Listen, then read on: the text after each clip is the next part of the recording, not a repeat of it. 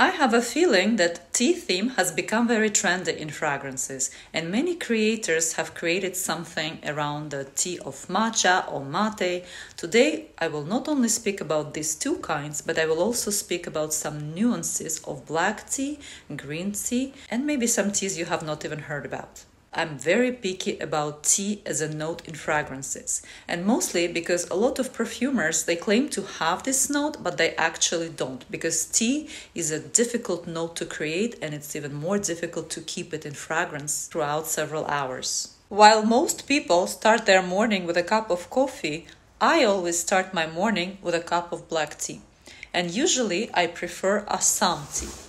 And now I would like to share with you my recent purchase that comes from Bulgari Le Gemme collection and this fragrance is called Orom. In terms of composition, this perfume is very simple. It is oud, vanilla and Assam essence. From the moment I tried this fragrance, I just became obsessed with it. And it's very rare that I buy 100ml bottles, but here I just could not resist. This fragrance is actually designed for men but I think it's truly unisex and I really advise ladies to try it. It's not only the packaging that is so beautiful that justifies the price, it's the quality of oud. You know there are different kinds of oud. Some ouds they are like uh, itchy wool blankets, but others they are more velvety. This oud feels like silk to my nose. And the same thing with vanilla. There are different kinds of vanilla. Some of vanillas are very synthetic, some are cloying, some are too sweet. This vanilla is just a paradise for my senses. It's just so sweet and so natural, and it just blends with oud in such a wonderful, delicate manner. And the note of Assam essence makes it really unique. It does smell like Assam tea. And I know some people say like, mm, I don't want to smell like tea. But in combination with oud and vanilla, it just makes such a perfect fragrance. I don't even know how else to describe it. I'm just obsessed. The next fragrance that smells like a very realistic tea is called Wulong Cha from a Turkish brand called Nishane.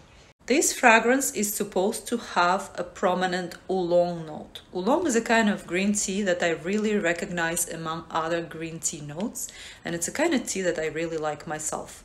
But I cannot say that this one smells like oolong. To me, this fragrance smells like English tea time. This is a typical Earl Grey with lemon. I personally had high expectations for the note of fig in here, but I never found it. The fragrance where the relationship of fig and tea comes out in a strange way is Fig Tea by Nicolai.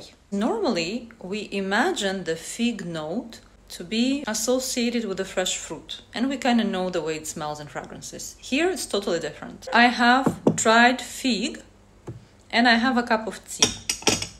I put this dried fig in my tea and I let it soak for 15 minutes. Hot tea. 15 minutes later, I take it out, and that's the smell you get in this fragrance. The tea fragrance that has got a lot of exposure is Matcha Meditation by Replica of Maison Margiela. I don't even have a sample of it, but I've tried it several times in a department store.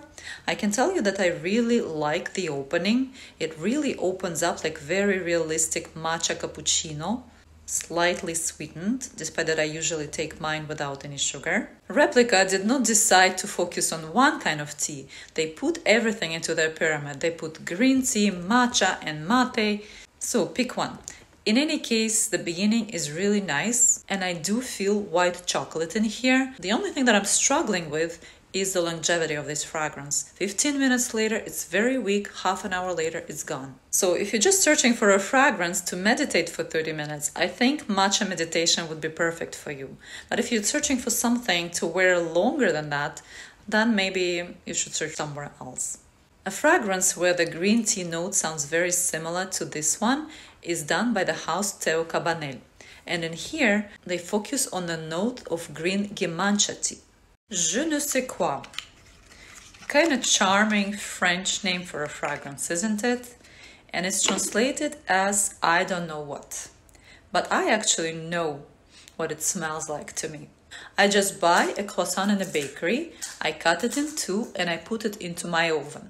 When I take it out, I just put this pistachio paste on top of my croissant and I would just be in love with this perfume if it smelled like pistachios on top of my croissants. But unfortunately, in 15 minutes or so, the scent changes. It loses its sweetness and it really becomes like green tea with crispy rice. And here I have green tea called Genmaicha Yama with the real grilled rice in here. Compared with the croissant with pistachio paste, hmm, it's not as yummy. So here we have no sweetness anymore, but the bitterness and the richness of green tea really comes out. As for the base, there are some woody notes in here, but in the mix of wood I can only catch vetiver, because it's nice, soft, and it complements green tea. Another perfume that has green tea and rice in the description is called One Umbrella for Two.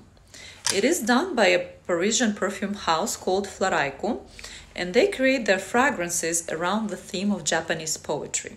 And surely green tea belongs in here. But I would not say that this one has tea that is like really coming out and is easy to guess from the beginning. This fragrance is truly gourmand and is one of the best sellers of the brand. The official pyramid does not even tell you from where this sweetness is coming, so you might fantasize something of your own. In my fantasy world, this is black tea with concentrated sweetened milk, in Russian we call it zgushonka, and sweet dried biscuits that I soak in my tea and the smell of uh, black currant leaves that you smash in your hands. This smell is very different from black currant berries that are claimed to be in the description. And then there is this base that is also kind of interesting. To me, this base is a continuation of this black currant leaves that are also mixed with the soft woods and maybe that rice powder, that's where it comes in, in the base.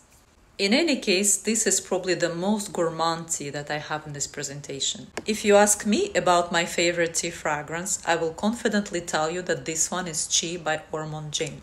This is a British brand, and the creator describes this fragrance as calming and spiritual. I totally agree with her, and I think this perfume is really made for meditation. And unlike Replica, it lasts really long. I wore it in the middle of London outside and it lasted about 4 or 5 hours on me. The thing is that this fragrance did not impress me from the beginning. The opening is very quiet and I did not think I would like it, but an hour later this combination of tea and osmanthus has really charmed me.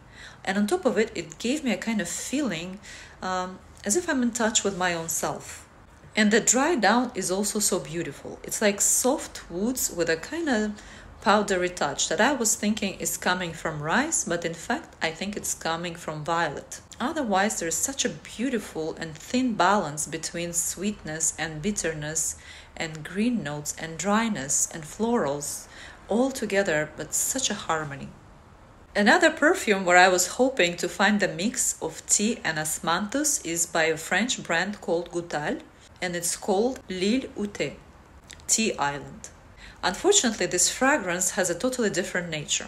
I would say that this one is made to freshen yourself in the summer. It's very light, citrusy, it feels like a mix of white tea with lemon. And unfortunately, I do not get so much of osmanthus in here. On the other hand, I think the green element, like freshly cut grass and herbs, is pretty strong in here. It's like you're sitting on a freshly cut lawn drinking your white tea with lemon. There are so many tea fragrances around, and I have not even mentioned Elizabeth Arden with their green tea and white tea. There's also Bulgari collection that I would like to get my hands on, and they have blue tea and red tea and white tea as well. And there's an entire brand that is evolving around the tea theme that is called State of Mind, and they deserve a totally separate review. Hopefully, one day.